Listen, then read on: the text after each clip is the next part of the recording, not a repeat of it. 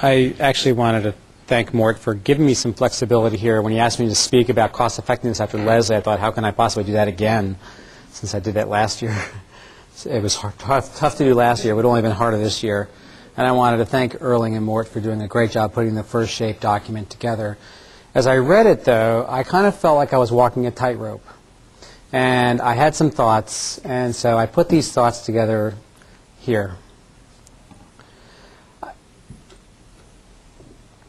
Clear we all have to follow a delicate balance of advocacy and enthusiasm on the one hand and on scientific caution and objectivity on the other. And within this balance, I had a few topic areas I wanted to cover. One is on selecting screening populations, generalizing our data, assessing our technologies, and defining efficacy. And the first one that comes up is who to screen. And the balance here is in screening too many and in screening too few. And I noticed that uh, as we, uh, we've talked about this tonight a lot, that this issue that the Greenland paper has brought up that everybody has a risk factor but that has an event, but so does everyone who doesn't have an event. And stated a way that hasn't been said tonight, it's really a problem of specificity. As a clinician, you feel this. You feel that now everyone's identified as being at risk, and you really don't know where to turn. And so there's room for new test development to discriminate risk, and I think we all in this room believe this. And we're asked to start with clinical risk from the Framingham risk score, and I thought it was interesting that in the SHAPE documents, risk factors on the basis of this inability to discriminate have been really seriously demoted. And I thought that was a, a, bit stepping out a little. It was stepping out a little bit, which I think is important. It starts. It gets us all thinking. It's clear that the Framingham risk score is only very modestly accurate for in its, in its predictive power, and it creates other problems as a clinician. Uh, the first of which is the huge intermediate risk group. These are Framingham data across ranges of age and the proportion of individuals that fit into various risk strata. Here, age 50 to 70 year old people, there's a good half of the population that's intermediate risk, and we've talked about this tonight. But the other thing we haven't talked about tonight that extends from this is that this is where all the population attributable risk lies. And so it makes sense to target an intermediate risk population as our first approach so that we would have this goal in mind in refining a risk prediction, taking an intermediate risk population, performing a test to shift up the initial to the post-test probability, defining someone whose risk now exceeds a coronary heart disease equivalent, and changing their risk approach in terms of their therapeutic approach we addressed this very carefully in the 34th Bethesda Conference published a, little over a year ago, and it was decided in that conference that an intermediate risk group was the most practical for screening for these reasons, that a population attributable risk lied in the intermediate risk group, that in low-risk patients there would likely be poor, poor cost effectiveness, and in high-risk patients there would be limited management impact. I just wanted to address these other populations, though, for a moment. Uh, and it's clear that even NCEP is now in the game, uh, stating in their 3R, in their revised uh, ATP3 document two months ago, stating in persons with multiple risk factors, high coronary calcium scores, uh, that is above the 75th percentile for age and sex, denote advanced coronary atherosclerosis and provide a rationale for intensified LDL lowering therapy. So the momentum is built for intermediate risk patients. It's clear, though, as we've seen tonight, and the data here from many, uh, that coronary calcium indicates increased risk within all strata of Framingham risk score groups. And I guess there's, and this is South Bay Heart Watch data from Dr. Detrano's group, showing us that across strata of Framingham risk scores, one sees that high calcium scores tend to indicate higher risk, such as there's a hazard ratio increment of about twofold when the calcium score exceeds 300 in his data. But I think there's two ways to interpret this as I see it. One is that the calcium score modulates the risk. And we focused here on these intermediate risk groups, that is, these folks at high calcium scores have higher risk. It's also that the clinical risk modulates the atherosclerosis. The, the risk factors modulate the atherosclerosis, so I have misgivings about really demoting risk factors in this setting. Um, that is to say this, that if you've got a calcium score over 300 in Bob's data, and every piece of data I've seen tonight support this same concept, and that is that, uh, and this is whether it's uh, uh, Alan Guerci's data or Leslie's data on calcium imaging, and the same applies even to IMT and other screening procedures that are imaging. That is at low risk, although you're higher, at higher risk with a calcium score of 300, if you're at low clinical risk, a calcium score of 300 doesn't mean the same for risk as it does at very high clinical risk. So I think it's difficult to divorce these two concepts of risk factors and risk markers or atherosclerosis in the sense that calcium, in this instance, modulates the clinical risk, and clinical risk modulates the atherosclerosis risk. If we wanted to, though, for a moment, consider the issue of should we screen low-risk patients, I think there's several ways to make pro-arguments. Uh, the first is that low-risk patients are very plentiful. Uh, subclinical disease is still quite common. These are data from the PACC project, which I run, in which we've looked at a low-risk group and their quartiles of, uh, into, dividing them into quartiles of Framingham risk, looking at the prevalence of calcium, even on people with very low clinical predicted risk, there's still a lot of subclinical atherosclerosis, and this is a theme we've heard about tonight. And it's in fact perhaps these low-risk people who have the greatest potential to demonstrate a discrepancy between their expected and their observed risk. So providing an argument for screening low-risk people. Certainly their therapeutics and these targets would be most dramatically altered in low-risk people. On the con side, events are still, rel still, still relatively uncommon, and these are even Bob Detrano's data. Again, the same theme throughout tonight that events are still less common in this lower risk group. As we're even seeing in the PACC project, these are unpublished data, but we now have up to six year actuarial follow up in this group of 2,000 individuals. And we now have an odds ratio of 12 for an incident coronary heart disease event if you've got any coronary calcium present. This is at a mean age of 42 after controlling for the Framingham risk score. So it's these data that support screening, but again, events are relatively uncommon. This is an aggregate of 10 total events after six years of follow-up of 2,000 people. So it's statistically significant, but again, events are very uncommon, even though these people are at an age of where you could screen and that they're over 40. How about high risk? We tend to dismiss screening high risk people because we think that their therapy won't change. If it's not going to change your therapy, don't do the test. But it's clear this is a group in which risk factors are, are in fact enriched, and we know from high-risk patients that their therapeutic uh, penetrance and therapeutic adherence is low, giving us an opportunity to detect a highest of the high-risk group to alter their treatment, uh, their, their therapies as well as the adherence to those therapies. In fact, it could identify a group in whom we would treat them beyond the guidelines. And perhaps in a patient with a negative test, perhaps even downgrade or demote their therapeutic intensity. Uh, and certainly here again within the South Bay data at very high clinical risk, uh, high calcium scores, incrementally predicted risk. So once again we see this concept that subclinical atherosclerosis modulated the clinical risk as we'd like to see, but also the clinical risk modulated the risk of the atherosclerosis that was present. Even in patients with known heart disease, these, these data from the Essence study of, of 150 men uh, selected on the basis of their calcium score uh, an already manifest heart, heart disease, those with calcium scores over 1,000 had higher risk of events than those with lower scores, providing the rationale that we could even discriminate risk further after someone already has a CHD equivalent, known CHD.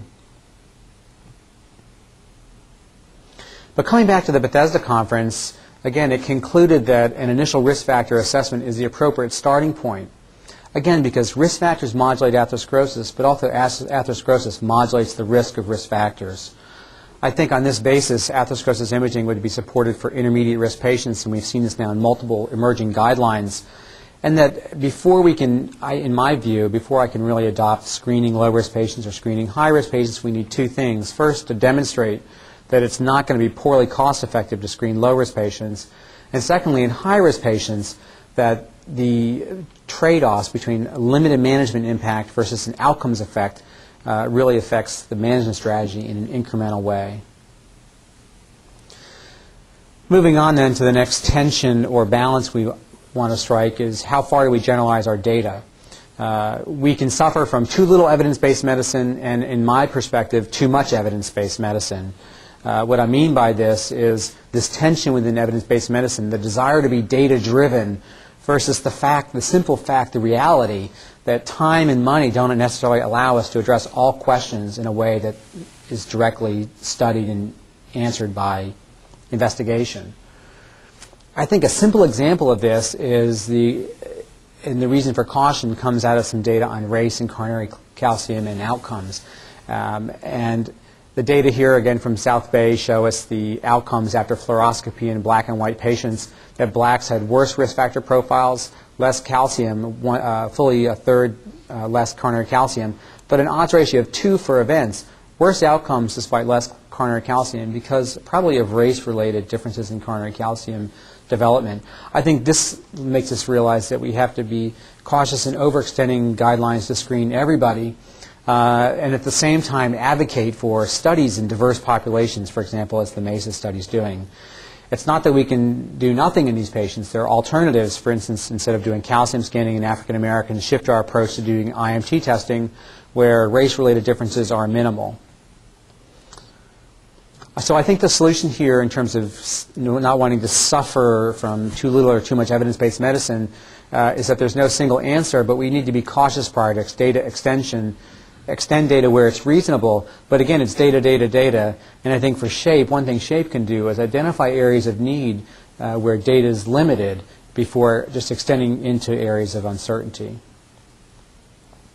Another area of tension is how should tests be accessed? This issue of open access versus a gatekeeper model. Uh, the I think the case for open access to screening, and I think this is probably crucial within SHAPE for the program to be successful, is that there's open access to screening. You can't screen 50 million people waiting for the doctor to order the test. And I think the case for this is the fact that provider belief in the strengths of tests is often in advance of endorsement by guidelines. We have internal beliefs which we think are data driven. We believe are data driven. They probably they are data driven, but guidelines are slow to adopt to those uh, beliefs. There's also the fact that we believe in patient autonomy, that patients should choose their own way, and that patients that choose their own way are invested in their health. And lastly, the fact that, frankly, tests don't penetrate quickly into the marketplace because payers are slow to adopt reimbursement, which is really the thing that triggers uh, the broad application of tests. On the other hand, we have to be cautious about potential adverse effects of screening tests. And as we promote the need to screen for subclinical disease, we should be mindful at least of the fact that there are false positives and false negatives. Those need to be fully defined and recognized that there are incidental findings, cost associated, labeling issues, the issues of discriminating statistical and clinical significance, and then the issue of premature implementation. We can't afford mistakes to, pre to prematurely implement things, otherwise we erode confidence in our approach. I think there also has to be, as we approach this, balance in consumer promotion. A publication will come out soon in Archives of Internal Medicine telling us that in, in, in screening tests, not necessarily atherosclerosis screening tests, but in screening tests for health, there's too much negative valence. That is, too much negative comments, too much fear mongering, and that supportive claims need to be based on achievable expectations and that this was too often present. Unfortunately, there's no regulatory oversight for here for this area. I don't want regulation. I think it's unlikely we'll get regulation, but we have to regulate ourselves and be balanced in our consumer promotion in this. And so to achieve this balance, I think we need study designs uh, and promote, to promote study designs that demonstrate a range of potential effects, both positive and negative, and that as we approach screening, there needs to be a safety net. And that safety net, I would hope that SHAPE would endorse. That is one in which we encourage appropriate utilization through pre-screening, that we encourage quality measurements of our endpoints, and that we fully treat the abnormalities because in the end it's the treatment that's going to prevent the event, not the screening. In other words, balancing our enthusiasm and objectivity. And last is defining efficacy.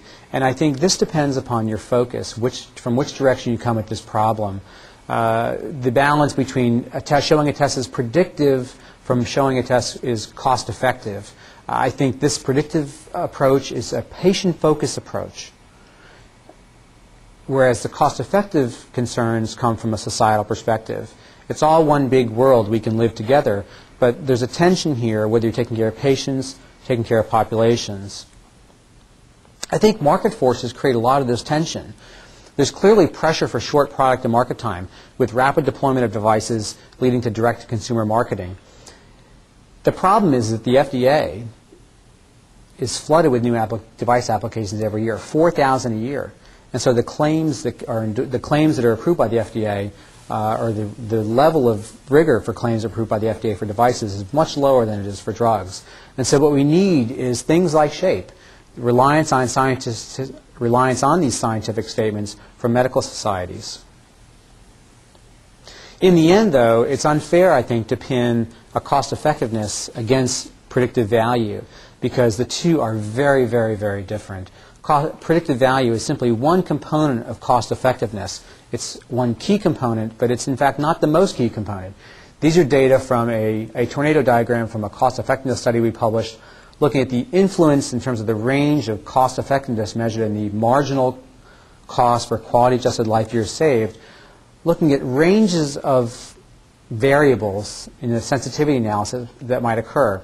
I showed this last year uh, that the efficacy of primary prevention is crucial.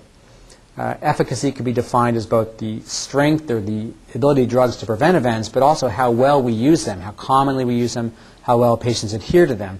And that is if a drug is if drugs or, or treatments are extremely effective, a screening method to prevent events through disease detection is going to be highly cost effective. But if patients don't, aren't given drugs, don't take drugs, or drugs are ineffective, no screening test will ever be cost effective. Other, the predictive value is important, but so are things like the cost of medications and, in fact, the costs of the tests themselves. So in the end, I think that while we worry about predictive value, incremental predictive value, it's clear that cost effectiveness is something very different, comes from a societal perspective, and will be a partnership of imaging modalities that are accurate and independent, providers who want to test and treat the targets, patients who want to adhere to what we say, health systems to provide us access to tests and therapies, and industry to provide us effective and inexpensive therapies. In the end, I think it's a delicate balance for SHAPE. I think it's one of balancing advocacy enthusiasm with scientific caution and objectivity while we try to push the envelope a little bit, which I think SHAPE clearly does.